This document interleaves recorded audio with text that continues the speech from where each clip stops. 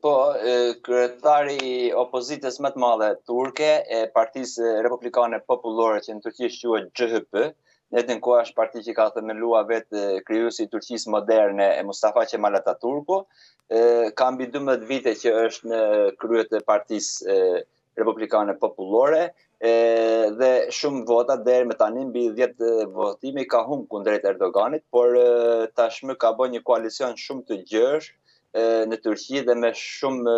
ortakë që dikur kanë qenë ministra, kryeministra, ministra të jashtëm të ekonomisë të Erdoganit, tashmë ata e, janë bashkuar me kryetarin e opozitës,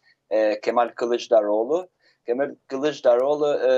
është një byrokrat i, i Turqisë për që nga rinia e tij pas marimit të universitetit dhe deri në futjen në politikë ka qenë një ekonomist shumë i mirë dhe mbahet për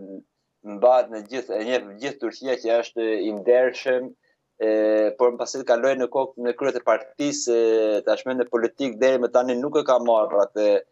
suksesin e duhur, por tashmë duket dhe gjithë sipas të dhënave, domethënë që shofim dhe sipas anketave që bëhen çdo javë, domethënë nga e, Turqia, e,